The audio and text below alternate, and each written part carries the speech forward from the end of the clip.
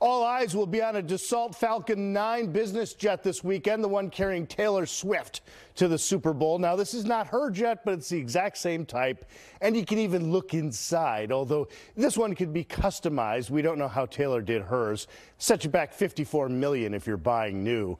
Her fans will follow her on services like Flight Radar 24, little blips on the screen.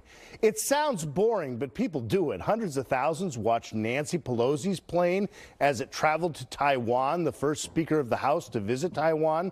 Hundreds thousands more watched the final trip of Queen Elizabeth from Scotland back to London. Here's a look at the East Coast this morning. Busier out there. See all those little airplanes? The trick's going to be finding the right plane on its way to Vegas.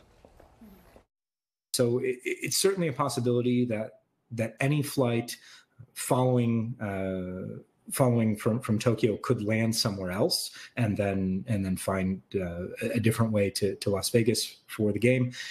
We just don't know. So we're preparing for every eventuality and and preparing for as many people as possible to to be able to to find out for themselves. There's going to be a lot of people watching little yellow airplanes. Yeah, no kidding. Right. So the thing is, is that this kid from Florida, he's Yeah. also uh, tracked Tracking Elon. Musk too. Right. So there's a there's a kid in Florida who has just been writing. You know, he, here's going on services like this.